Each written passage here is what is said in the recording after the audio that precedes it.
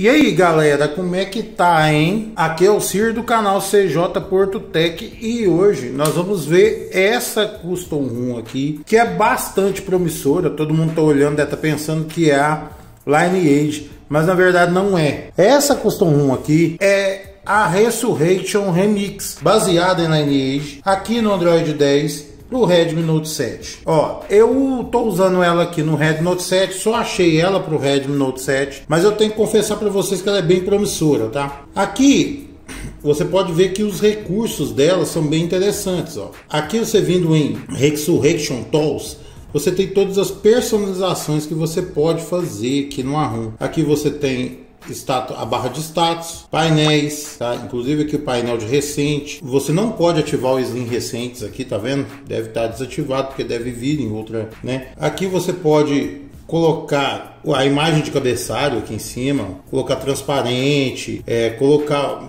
várias coisas aqui que você pode modificar. Eu não vou entrar muito em detalhes, tá?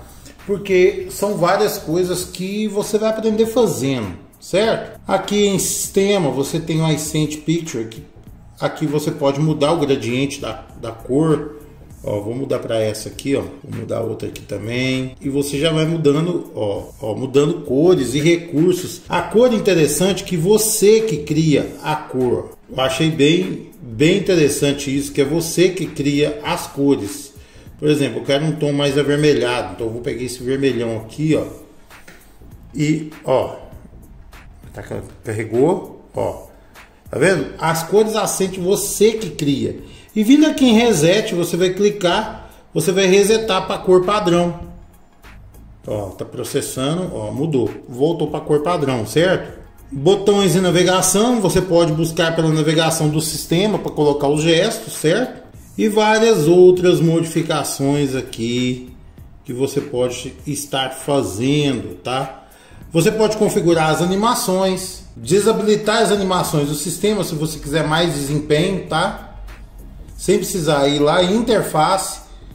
Você pode escolher é, vibração do sensor de impressão digital, configurar a lock screen, colocar informação de bateria, estilo do relógio. Você pode escolher vários aqui. Ó. Vou pegar esse Samsung One aqui, vamos ver não alterou. Lembrando que essa aqui é uma ROM unofficial. Então o que, que acontece, gente?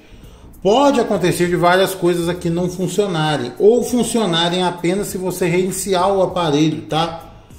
Então eu estou mostrando para vocês aqui o tanto que ela pode ser promissora, certo?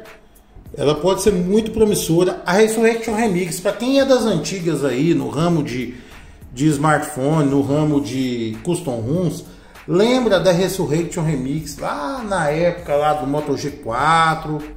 Eu vou reiniciar ele aqui para a gente ver se o relógio vai alterar lá na tela de bloqueio. Lembra lá na época de Moto G2, Moto G3, Zenfone 5, a Resurrection Remix mandava e desmandava. Ela e a Lineage eram as ROMs mais promissoras. Na época do Moto G4, aí passamos para para para Viper OS, que era uma ROM de desenvolvedores brasileiros e boa pra caramba. Só que eu não sei o que aconteceu com a Viper OS, que a Viper OS foi e, e acabou. Sabe? Bem que tentaram, alguns desenvolvedores tentaram ali. É, não alterou o relógio na tela de bloqueio. Tá. Alguns desenvolvedores tentaram manter a Viper OS, mas mesmo assim não conseguiram. Foi complicado. Mas é isso aí. E agora eu vou mostrar a instalação, tá? Tem firmware, certo? E eu já mostrei aqui em vídeo como é que baixa o firmware, certo? É, eu vou deixar o vídeo de como baixa o firmware na descrição. Vocês vão lá e dão uma olhada, porque lá eu ensino detalhes como é que você vai baixar os firmware, certo? E o firmware para essa ROM aqui é muito específico. No próprio, no próprio link do XDA, que eu vou deixar aí na descrição, tá explicando lá o passo a passo de como fazer a instalação dela, tá?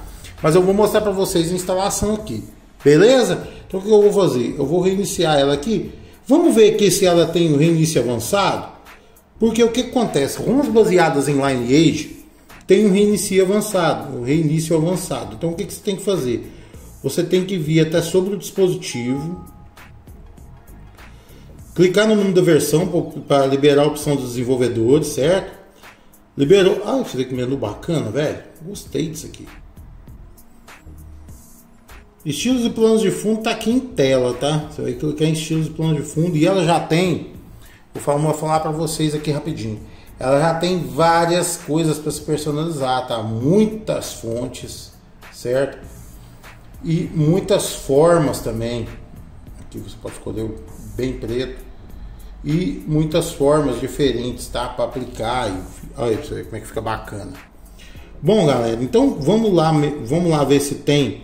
Você vai vir aqui em Sistema, Opções de Desenvolvedor e normalmente está aqui nas primeiras opções, ó. Modo de reinício avançado. É, curiosamente, essa aqui parece não ter. Essa aqui parece não ter.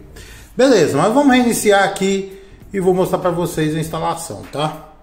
Ó, vamos reiniciar, vou segurar o botão de volume para cima para entrar no recover. Beleza, aqui tá pedindo meu PIN. É o mesmo que eu usei no bloqueio lá, ó. Porque é a nova versão do Orange Fox. Quando você bloqueia o sistema, ele pede o mesmo PIN ou senha ou desenho que você fez no sistema para poder entrar no recover, tá? Eu já falei disso aqui no vídeo que eu falo desse novo recover, beleza? Bom, vamos ao menu, Manage Partition, Data. Ah, uma coisa tem muita gente tendo problemas, tá?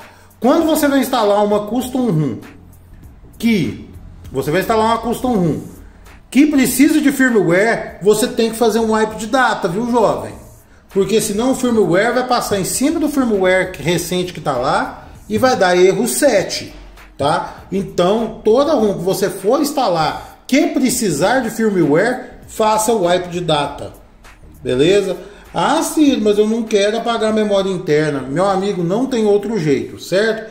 Para ter 100% funcional, tem que ser assim. Fez o wipe de data, vamos voltar, vamos na lixeirinha, Dalve Cache System Vendor Data e Internal, faz o flash. Beleza, vamos voltar Vamos até a pastinha, vamos procurar onde está a ROM, no meu caso está no cartão SD. Vamos nos três risquinhos, risquinhos, tá? Três riscos, não os três pontinhos, três riscos. Vamos filtrar por zip files e você vai ter que pegar o firmware mais recente, que é o do Android 10. o firmware versão 11.0.1. Gente, não repara meus dedos, minha mão parecendo tá meio suja. Mas vamos lá. Vamos clicar aqui, vamos instalar o firmware. Firmware instala rapidão, jovens. Instalou o firmware, vamos voltar. Não precisa fazer wipe de caches, tá? E vamos procurar a ROM aqui, ó. Cadê a ROM? Aqui, ó. Resurrection Remix.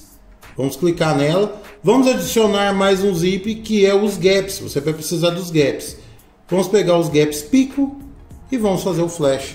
E agora é só aguardar. Vou deixar o celular aqui.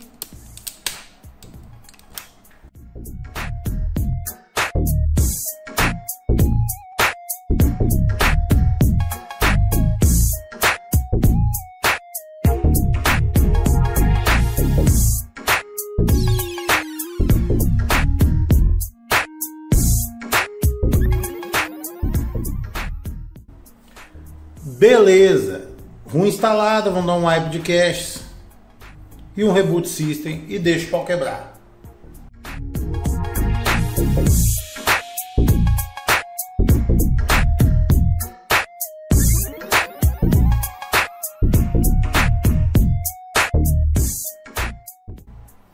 Beleza, meus jovens, ROM instalada, só fazer as configurações. Eu não vou fazer as configurações aqui, vocês sabem que é só Só fazer as configurações e está pronto. Beleza? Então é isso aí. O link do, do fórum do XDA vai estar tá na descrição com todos os detalhes. Do vídeo de download de firmware vai estar tá na descrição.